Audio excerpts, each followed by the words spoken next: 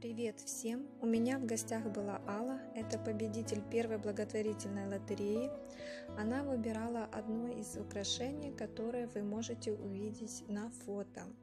Хочу искренне поблагодарить Алочку и всех, кто участвовал и участвует в моих благотворительных лотереях, а также коллег по работе Аллы, которые приобрели, купили несколько моих украшений и одну из моих картин. Спасибо вам большое, так что участвуйте в моих благотворительных лотереях, где вы можете выиграть ценный приз. Это одно из украшений, одну из моих картин и поделки ручной работы. Также вы можете подписаться на мой канал, где вы сможете наблюдать за переменами в моей жизни, а также за ростом, развитием и творческим моим процессом.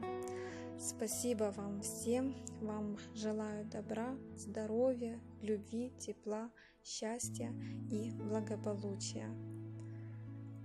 Увидимся, до новых встреч!